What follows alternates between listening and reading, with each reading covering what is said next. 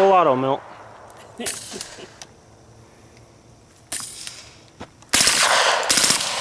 Now, aim it down. There you go.